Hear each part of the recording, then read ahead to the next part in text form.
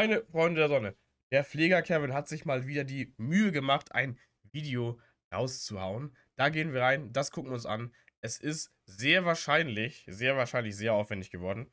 Wie immer bei seinen Videos. Los geht's! Oh, Leute. Oh, aber auch.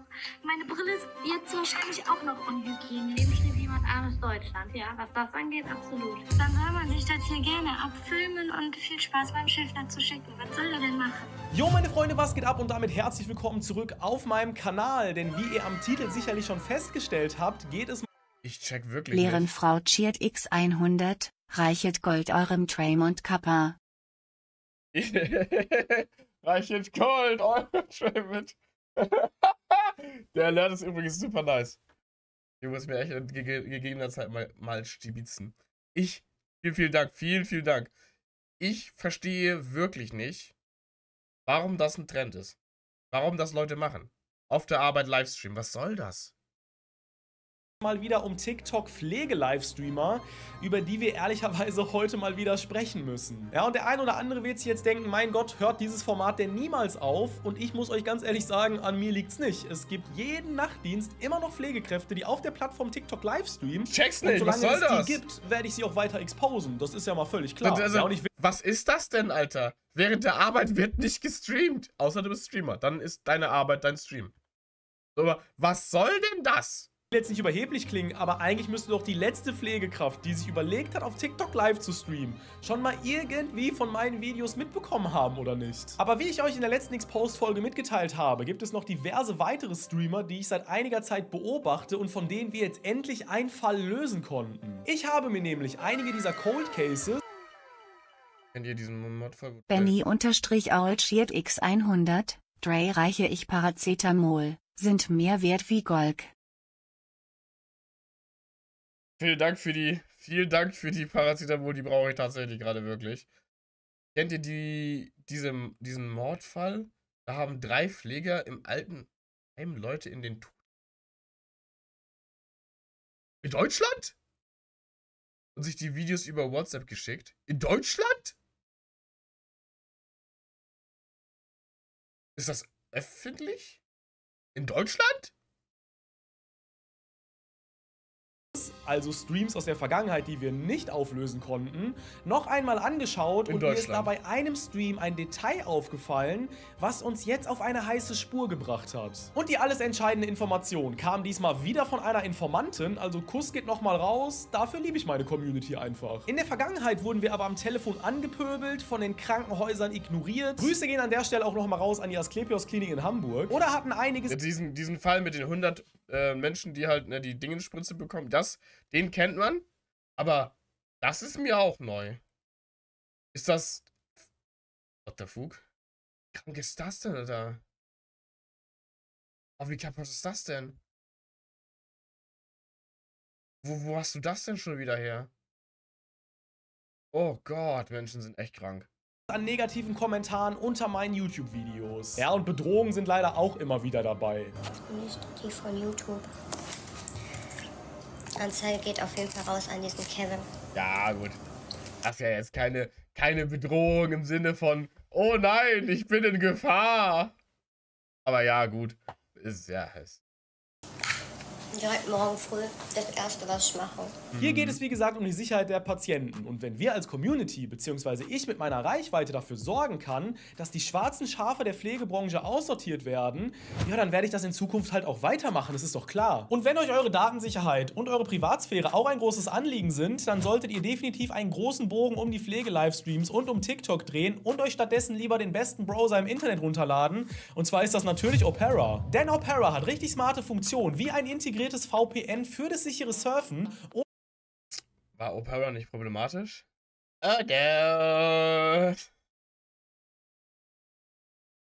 Livestream, den ich letztens mit ansehen musste, kam es wieder zu zweifelhaften Szenen, wo ich mich wirklich gefragt habe, mein Gott, wie blöd kann man eigentlich sein? Und das alles zeigt mir einfach nur, dass die Streamer sich immer noch nicht dessen bewusst sind, was sie da eigentlich machen, beziehungsweise was diese Streams für eine Außenwirkung darstellen. Ja, und dass für viele das Livestream Das ist doch genau das Ding, die Außenwirkung da vom Job. Ich meine, wenn das. Also, Das kannst du ja in keinem Job eigentlich machen, ohne dass es mit dem Arbeitgeber abgeklärt ist. So. Weil du repräsentierst ja im Internet dann, in dem Fall, während du dann in Arbeitskleidung stehst, deinen Job. Das. Und wenn, egal was, also das ist doch, das ist katastrophal.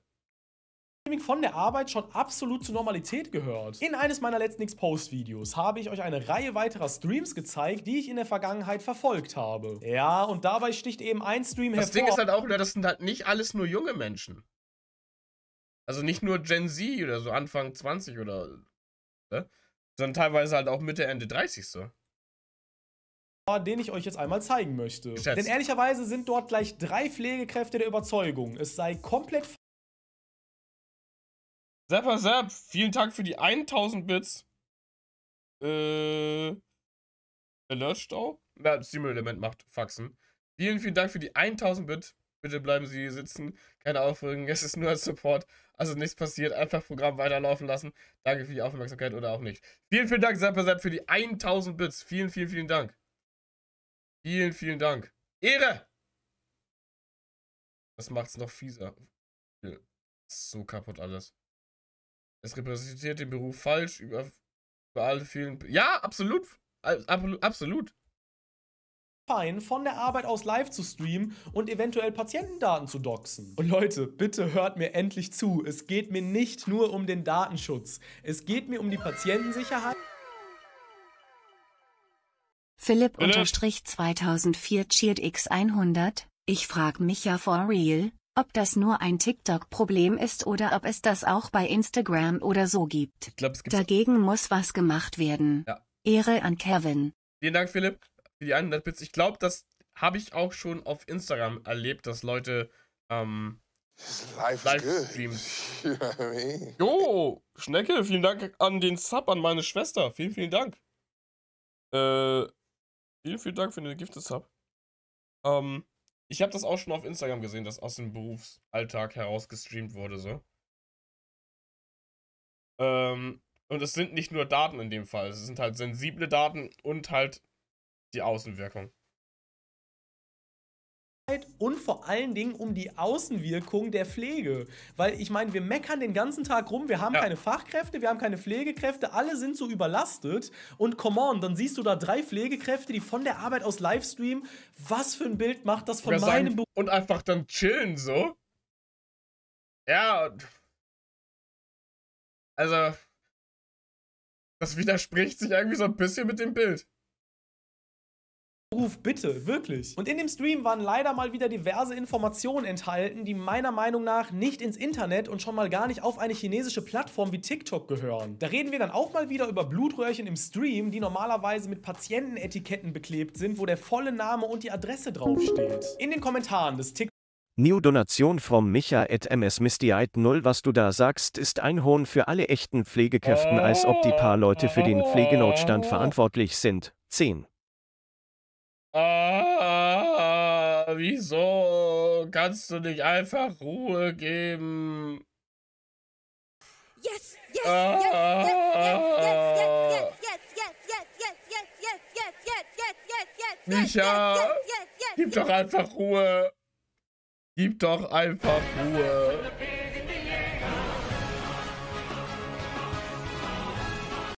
Und es hat niemand behauptet, dass die. Schnecke, vielen, vielen Dank auf jeden Fall. Ähm. Da gab es eine Zapper Zap für die 5er Sub Bombe. Vielen, vielen, vielen Dank. Vielen, vielen Dank. Sorry, dass ich hier einmal kurz die, die ganze Situation unterbrechen muss, aber das wollte ich auf jeden Fall einmal hm, herausgefunden. Memoria. Vielen, vielen Dank für die 100 Bits Memoria. das denn? Schnecke 2066 Cheered X200. Schnecke, Schnecke, vielen Dank für die 200 Bits hinterher. Vielen, vielen Dank. Vielen, vielen Dank. Ist der jetzt gebannt? Ich glaube, also. War jetzt eigentlich aufgelistet. TikTok Livestreams hagelte es selbstverständlich wieder Kritik, weil die meisten auf TikTok mich auch inzwischen kennen, beziehungsweise meine Exposed-Formate kennen, aber die Ausreden, die die Streamer finden, die sind halt einfach wie immer Quatsch. So schrieb beispielsweise ein User, da freut sich der Arbeitgeber, wenn Datenschutz in Social Media nicht beachtet wird. Ja, worauf wieder folgende Aussagen kamen. Oh, Leute. Ja, das hat jetzt eine Diskussion entfacht, aber Gott sei Dank kann man ja auf diese Videos gar nicht zurückgreifen. Okay, ja denn. Ja denn. Also, also wenn ich mal eben ihren Wohnort live streame, sie also doxe so, dann, dann ist das ja keine Datenschutzverstoß und keine Straftat, weil man kann da ja nicht drauf zurückgreifen. Ja denn. Problem gelöst. Also es ist ja. Das ist ja ein ganz großer Trick so. Nein, Herr Officer, ich habe hier keine illegalen Dinge dokumentiert mit meinem Handy, die ich nicht hätte dokumentieren sollen. Denn da kann man gar nicht drauf zurückgreifen. Das ist also gar kein Problem, dass ich hier gegen Zeugenschutzprogramm oder was weiß ich was verstoßen habe. Man kann ja gar nicht drauf zurückgreifen. Einfach System getribbelt. Für, für viele Leute ist Datenschutz auch einfach nur. ein- Also, auch einfach nur etwas, was anderen Leuten zustößt. Kann das sein? gespeichert oder sowas. Das heißt, das kann sich auch keiner mehr jetzt im Nachhinein angucken. Erstens muss man an dieser Stelle sagen, dass diese Streams sehr wohl auf der Plattform gespeichert werden. Zwar nicht Obviously. öffentlich abrufbar für die Allgemeinheit, aber sie verbleiben als fertige Videos in dieser TikTok-App. Und meiner Meinung nach ist das für die moralische Bewertung dieses Livestreams völlig irrelevant, ob die Dinge aufgezeichnet und gespeichert werden oder eben nicht. Die sollten überhaupt gar nicht passieren. Natürlich ist es völlig irrelevant, ob es aufgezeichnet und gespeichert wird. So. Also, wenn ich ein Verbrechen filme, was ich nicht hätte filmen dürfen, weil es nicht hätte passieren sollen, so, kann ich ja nicht sagen, ja, es ist egal, dass es passiert ist, weil es sieht ja keiner. Nee, so funktioniert also Moral nicht. Diebstahl ist immer noch verboten und, und zu verurteilen, auch wenn es niemand sieht. What the fuck? Straftat bleibt Straftat. Ja. Ja, und jetzt passt auf, weil die folgende Aussage habe ich ja erstmal recht nicht verstanden. Was sollen Sie denn machen? wenn Patient versorgt sind und schlafen. Ich gehe die jetzt wecken. Ja, Tabletten müssen wir nicht stellen. Wir haben nämlich Tablettenstellerinnen, die tagsüber kommen. Ja, was soll man denn sonst machen? Alter, als gäbe es keine Alternative, als würde ein innerer Druck Arbeiten? Arbeiten? Was ist das für eine Argumentation? Ich livestream hier halt einfach. Was soll ich sonst mal auf Arbeit? Druck bestehen, Livestreamen zu müssen. Was ist das denn? Und jetzt mal ganz ehrlich, keiner von uns würde was sagen, wenn du dich da einfach hinsetzt und ans Handy gehst oder Filme schaust oder sonst was. Ich meine, ich sehe das ja ein, wenn die Arbeit Ja. getan ist, dann ist die Arbeit getan und von daher wäre es ja auch in Ordnung. Aber ich meine, Livestream während der Arbeit ist doch die beschissenste Idee, die du haben könntest. Ich meine, dein Arbeitgeber könnte das doch auch sehen. Dann soll man sich das hier gerne abfilmen und viel Spaß meinem Chef dazu schicken. Was soll er denn machen? Ja, vor allem weiß er auch, dass wir? Wir machen das ja nicht, äh, was nicht dürfen. Okay, Ausschnitte des Livestreams dem Arbeitgeber schicken. Kenne ich jetzt eigentlich keinen, der das macht, oder? Ja, gibt bestimmt so Leute. Wie hieß Internetführerschein. ihr erzählt hatte, dieser Typ, der auch immer äh, in so Videos Internetführerschein, jetzt. Ich, ähm. Hast du doch mal erzählt gehabt. jemand so hobbylos ist, Ja, gibt's komplett bestimmt. bestimmt aufnimmt, ja. So Pfeifen gibt's bestimmt. Ah. Ja, Kevin, genau, Kevin hat einer geschrieben, ne? Ah, ja, genau. Aha, wenn man sich also für die Patientensicherheit bzw. Aha. das, der kann gut. Aha. ja, und vor allen Dingen, weil halt Zuschauer das nicht auch könnten. Jeder, der ein Handy hat, kann diesen Livestream mal eben kurz mit aufnehmen. Jeder. Und dann einfach Kevin schicken und bumm. Das wird dann aufgearbeitet und dann, ne, also, ich check nicht. Das ist das fucking Internet. Das ist kein, keine Familiengruppe oder sowas. Für das Patientenwohl und die Datensicherheit einsetzt, ist man faktisch also hobbylos. Alles klar. Außerdem brauche ich gar nicht aktiv in die Livestreams gehen, sondern sie werden mir zugeschickt, weil Obviously. inzwischen jeden Nachtdienst irgendwelche Pflegekräfte live sind. Und diese werden mir dann zum Teil einfach auf meine For You-Page gespült. Das heißt, ich sehe sie einfach, obwohl ich es nicht sehen will. Ich kann es ja nicht mal ändern. Ja, geil an der Sache ist natürlich auch, dass sie mich und meine Formate kennen und mich sogar namentlich in dem Stream benennen können. Also ich verstehe einfach nicht. Wenn es doch schon Menschen gibt, die aufzeigen, wie scheiße das ist. Wie kann es denn sein, dass du dich dann da hinsetzt? Wie arrogant muss man denn sein, um dann noch live zu streamen? Ey, ich bitte dich. Ja, und meine Lieblingsausreden dürfen Ich glaube, das ist keine Arroganz, sondern es ist einfach diese typische Verantwortungslosigkeit. Also, ich glaube, das hat nichts mit Arroganz zu tun, sondern die Leute sind einfach, sehen da einfach kein Problem drin, sind einfach desinteressiert, uninformiert. Ja. Und ich glaube, wenn du, also wenn Kevin jetzt noch ein Stück größer werden, überheblich, ja, überheblich ist, glaube ich, eher das Wort, das ich was ich da äh, verwerten würde, aber ich glaube, es ist ein Synonym auch für Arroganz, ne? Aber sobald Kevin größer wird, so in dem Sinne, also glaube ich, wird sich da nochmal was, so eine Dynamik entwickeln. Oder generell diese Community um Kevin herum. Sobald die noch ein Stück größer und ein bisschen stärker wird, so dann werden sich die Leute das zweimal überlegen. Weil wenn du dann nur, wenn du streamst und du hast nur Leute im Chat, die dir die ganze Zeit sagen, hör auf zu streamen, das ist scheiße, was du da machst, so. Das schockt ja nicht. natürlich auch nicht fehlen. Wir hören mal rein. Was, kann ich Kevin schicken? Ja, das ist irgendwie so ein Typ, der äh, geht immer so durch die Lives und schwärzt dann beim Arbeitgeber die Leute an. Echt? Ja. Na, der hat ja ein super Leben. Aber es ist ja nicht schlimm, weil unser Chef weiß ja Bescheid. Nein, das Schlimme ist ja, niemand ist ja gezwungen, sich das anzugucken. Nein, das Wenn man das nicht möchte, dann macht man es halt einfach weiter. Aber Das ist nicht das Problem von diesem Livestream. Das checken die Leute. Ich check, check nicht, dass die Leute das nicht. Ey, das Internet ist. Wir haben das Internet lang genug, um zu verstehen, dass das so nicht funktioniert. Wenn du Schmutz im Internet machst, kannst du nicht sagen, ja, guck da einfach weg. dass man so gerne Negativität Weil ich versprüht, etwas an- statt mit äh, naiv TikTok zu starten, das ist alles mit der Geschäftsführung abgeklärt. selbst in Die wissen das. das hier?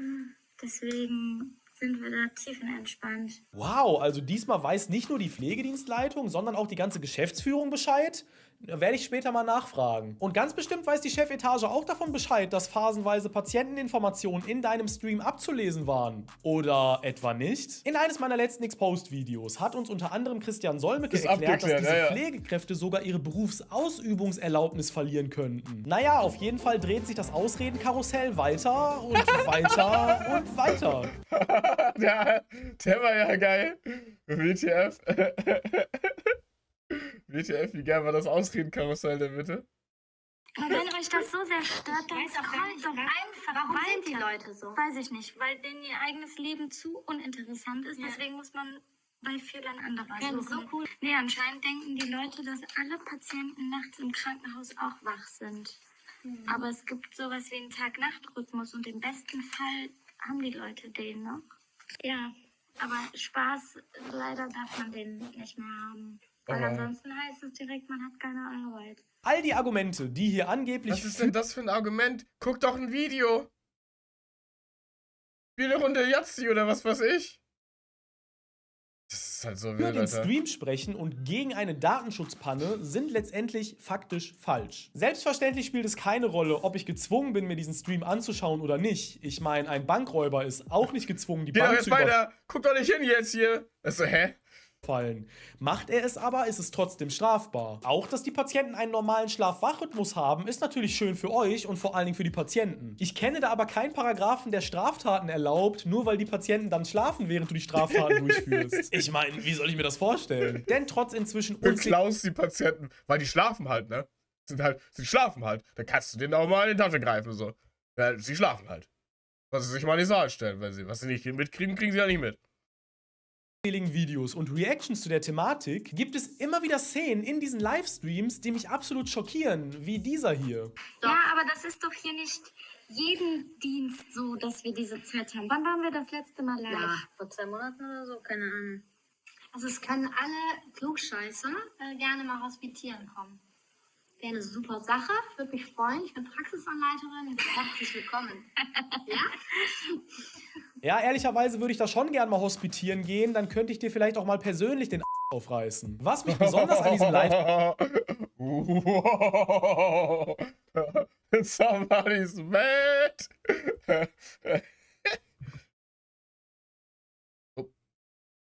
Faktenbasierter Politik.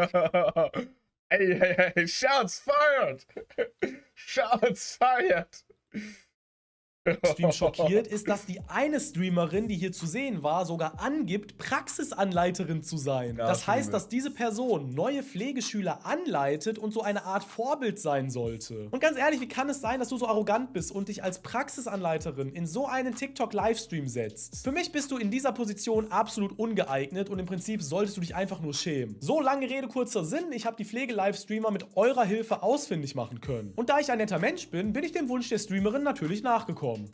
Dann soll man sich das hier gerne abfilmen und viel Spaß meinem Chef dazu schicken. Was soll er denn machen? ja, also habe ich genau. Unangenehm! Thanks. Das getan. Deinem Chef alle Streams, Screenshots und Beweise zukommen lassen und mal gefragt, ob das wirklich erlaubt ist. Ich meine, das habt ihr ja sogar behauptet. Sogar die Geschäftsführung wusste doch Bescheid. Dann kann das ja alles jetzt Gar nicht so schlimm Problem gewesen sein, ja. sein. Da ich aber begründete Zweifel daran habe, dass die Chefetage eines so großen Konzerns, es ist by the way die Helios-Gruppe, dir diesen Stream erlaubt, habe ich Yikes. noch mal gesondert bei der Bezirksregierung und bei den Gesundheitsämtern nachgefragt. Aber lass mich doch erstmal erklären, wie wir den Arbeitgeber ausfindig gemacht haben. Zunächst einmal waren die Streamer so freundlich und Ich, haben die bewahr, ich, be- ich bezweifle, dass, die, dass man innerhalb der Helios-Gruppe auf Arbeit live streamen kann. Ich bezweifle das sehr hart. Erst einmal für uns eingegrenzt. Ach, es gibt eine Suchtstation. Ja, da bestimmt Wir haben da auch Reha-Kliniken und sowas. Helios. Aus NRW sind wir. Smart. Nähe Go. Des Weiteren trägt die selbsternannte Praxisanleiterin ein Oberteil, welches ich den Helios-Kliniken einwandfrei zuordnen konnte. Smart. Es handelt sich also wahrscheinlich um eine Helios-Klinik im Großraum Köln. Also habe ich mal auf der Website nachgeschaut, welche Klinik überhaupt potenziell in Betracht kommen würde. Ja, und da war relativ schnell klar, dass die Auswahl doch recht begrenzt ist. Eine Ist denen wirklich bewusst, dass sie sich hier. Also, das ist denen nicht bewusst, oder? Dass sie sich da doxen? Mit sowas? Das ist denen nicht bewusst? Ich meine, ein, ein, ein Kevin will die ja jetzt hier nur ähm, einmal überprüfen, ob das auch wirklich alles mit dem Arbeitgeber abgesprochen ist. So. Aber es gibt ja Real Talk auch Menschen, die wollen die halt wirklich, den wirklich, also Leuten einfach schaden. Einfach aus, aus Jux und Treuerei. Es ist halt. Also so ein bisschen. Das Internet kann halt auch gefährlich sein. Situation aus dem Livestream hat mich allerdings auf eine heiße Fährte gebracht. Wir schauen mal rein. Und die, die pushen einen ja in TikTok dann, auch wenn man so negative Kommentare hat. Guck mal, da. In dem Stream ist scheinbar eine ehemalige Kollegin, die nach eigenen Angaben jetzt in Düren arbeitet. Ja, Medienkompetenz. Aggressiver Rabe cheert X100, Benommenheit, Medienkompetenz, Benommenheit, Ja. Ja, davon sehen wir leider zu wenig hier. Da habe ich jetzt erstmal die Arbeitshypothese aufgestellt, dass wenn die ehemalige Kollegin, die dort mal gearbeitet hat, jetzt in Düren arbeitet, dass die zwei Kliniken eventuell nicht so weit voneinander entfernt sein könnten. Und wenn man sich dann auf Google Maps mal anschaut, welche Kliniken grundsätzlich in Betracht kommen, dann fällt auf, dass es nur Köln, Siegburg oder Bonn sein kann. Und jetzt mal eine ganz hypothetische Frage an euch. Sagen wir mal, ihr wohnt in Köln. Dann sagt ihr doch nicht, dass ihr aus der Nähe Köln kommt, so wie in diesem Ausschnitt, oder? Aus NRW sind wir. Natürlich in NRW. Nähe NRW. Go. Naja, und auch wenn ihr aus Bonn kommt, macht diese Aussage eigentlich keinen Sinn, weil Bonn kennt man. Dann kann man ja sagen, ich komme aus Bonn und nicht aus der Nähe Köln. Die einzige Stadt, die man von den drei potenziellen Standorten eventuell nicht kennen könnte, müsste eigentlich Siegburg sein, oder? Ja, okay, ich gebe zu, dass die Theorie schon sehr vage und wackelig ist. Deshalb wollte ich mir das Ganze noch einmal bestätigen lassen. Ja, und da war ich ehrlicherweise ein bisschen dreist, weil ich habe genau der Kollegin geschrieben, die in dem TikTok-Livestream anwesend war und behauptet hat, mal in dieser Klinik gearbeitet zu haben. Ja, und ehrlicherweise habe ich nicht damit gerechnet, dass sie mir antwortet, aber Hat sie einfach ihre, ihre ehemaligen Kolleginnen gedoxt? Hat sie die einfach geleakt oder was? oder wie? keine fünf Minuten später hat sie mir eins zu eins bestätigt, dass das die Siegburger Klinik war. Des Weiteren hat sie mir zwei von drei vollständigen Namen der Streamer geben können und Oh shit. Die hat die mal eben komplett durchgeleakt. Konnte mir sogar sagen, von welcher Station dieser Livestream vermutlich war. Und ihr wisst alle, was das bedeutet. Wir haben, wie anfangs schon gesagt, eine E-Mail an 10 von 10 Kolleginnen. Shit. Shit. Ja, Mensch. oh, damn. Anscheinend sind die nicht so close. Den Arbeitgeber geschrieben, wo wir unter anderem alle Beweise mitgeschickt haben und ganz frei folgende Fragen gestellt haben. Stimmt es, dass es in Ihrer Klinik gestattet ist, Livestreams während der Arbeitszeit auf einer chinesischen Plattform zu übertragen? Wie hoch ist der Stellenwert der DSGVO in den Helios-Kliniken? Sind Ihnen weitere Livestreams aus Ihrer Klinik bekannt? Ist die Patientensicherheit auf den Stationen gewährleistet, während die dort tätigen Pflegekräfte auf den Stationen livestreamen? Beziehungsweise werden die Kollegen dort nachts von Fachpersonal für diese Zwecke abgelöst? Ja, aber wenn der Geschäftsführer alles erlaubt, dann sollte ja alles gut sein, oder? Zum aktuellen Zeitpunkt habe ich noch keine Antwort auf meine E-Mail erhalten. Sollte sich da was tun, werde ich euch selbstverständlich updaten. Was können wir also abschließend wieder festhalten? Die Streamer sind sich ihrer Sache immer super sicher und denken Junge, immer wieder, man könnte keine Rückschlüsse ab Ah.